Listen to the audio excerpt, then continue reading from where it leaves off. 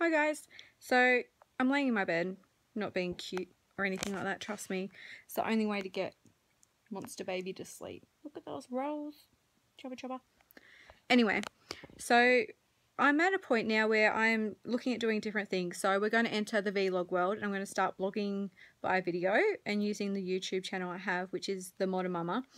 And um, letting just seeing how things go that way. So I thought I'll let you know how things have been. We're obviously into seven and a half weeks now, and I've been a bit quiet on the website, which I'll still keep active and running. But um, we've been doing other things as well. Like I've noticed my anxiety has gotten a lot worse since having Indy, so I've gone to go get help for that now, and I've got my doctor to write up a mental health plan, and now I'm going to go see a psychologist and just work out ways to fix that because ironically it only happens when I have to go out to social things and doing this blog has I don't know opened a lot of areas for me to go to social things and I don't go.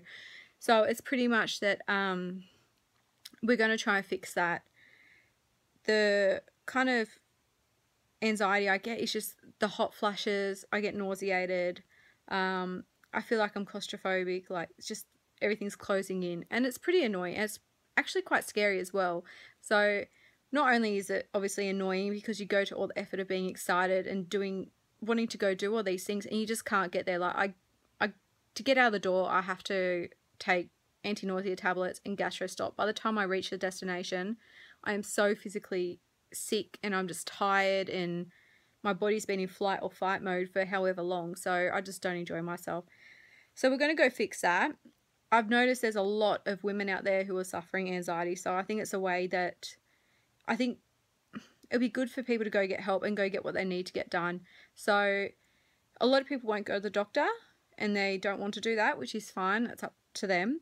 But one of my other friends has written a blog on um, yoga. She's a yoga teacher, and it's about breathing techniques and teaching us how to, um, I don't know, listen to our breath really and just practice that. So I'm going to be using that as well and I'm going to post it up a bit later and I'll add the link to it. So it'd be good for you guys to have a read and see what you think of that and see how that works for you and see if it does work. It might not.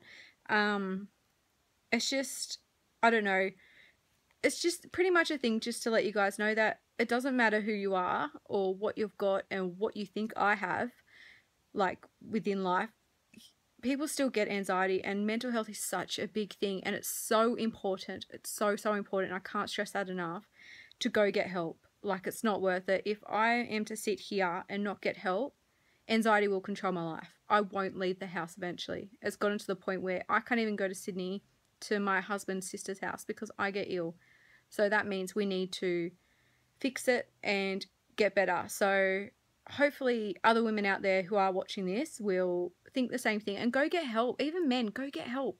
It's there for us. So I think with the mental health plan, oh, she's awake. With the mental health plan, it brings out, um, I think it brings the, in Australia, our Medicare fees down to $35 for it to see a psychologist, which is quite good. Otherwise, it's 120 without that. So it's really important to go get that mental health check done. And it's really important just to put yourself first. Just go do it and be your number one because unless you are at your best, you cannot provide the best you can for your children at that time, if that makes sense. If I am physically ill and suffering with anxiety, I can't look after my children properly. So we need to get out there and spread it and just spread the awareness that it happens and a lot of people have it. So um yeah, just let you guys know how I go and have a look at that blog. All right, bye.